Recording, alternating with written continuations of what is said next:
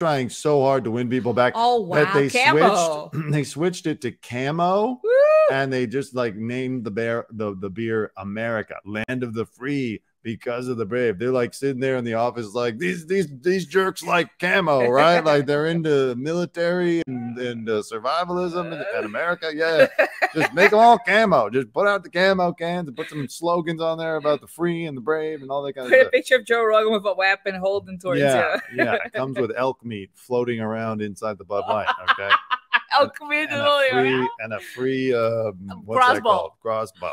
Oh my god, it would be so epic. That's such a good idea. Budweiser, do that. That's just hilarious. Wow, How look at hard that. they like They're practically trying. they're printing the Constitution on the side of the Budweiser. you know, like Jesus Christ. Oh God, Overcompensating. That's so funny. That's so the other side. It can actually be turned into a gun if uh, you, you drill a hole in the bottle. If you shake three times, it turns into a grenade. Yeah, there are bullets. they comes every can comes with a hollow point floating around inside the beer.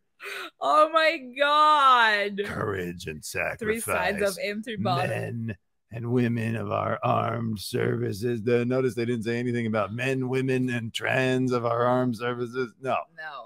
Oh my god, that This was just such so a forced camo. PR.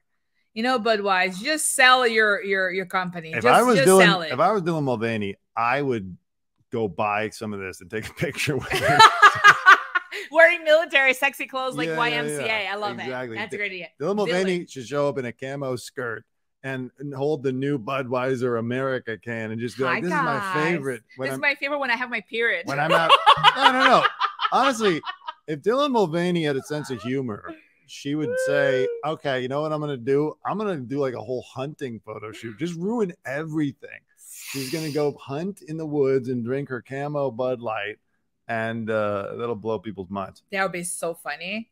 Okay, last thing. They probably will pay him to not her to not use it, to Yeah. not drink it. That's what I'm saying. If you really want to get a payday, Dylan, go all the way. Take every single thing that guys love. Go, go to the golf course, go to a baseball game, do all of that, and like just and extort people for large payments, and then you can retire. You'll be good. all right. Last thing, I just